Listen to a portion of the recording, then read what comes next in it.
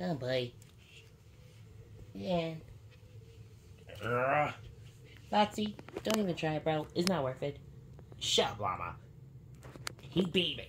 I want my revenge. Dude, none, no one can beat him. He's literally, he's literally the strongest guy now. I don't care. I want to defeat him. Well, dude, well, I'm not. I'm gonna sit this one out. Yeah, you better, because I'm going to kick his tail so bad he won't be around. Yeah! Ah! What was that about kicking his butt? Shut up! Yeah, I'm, I'm like Foxy. I'm not stupid. Hey! You know it's true.